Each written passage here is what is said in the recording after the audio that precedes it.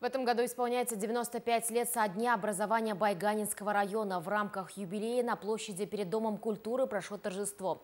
Были награждены сельские акимы за высокий уровень организации культурно-массовых мероприятий.